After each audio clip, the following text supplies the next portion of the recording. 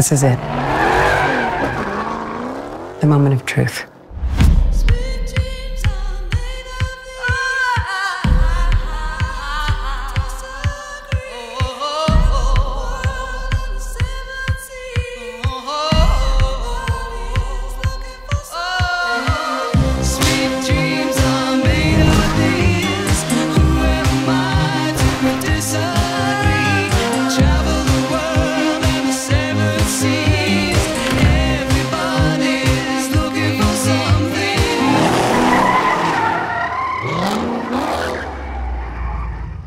Isn't it wonderful?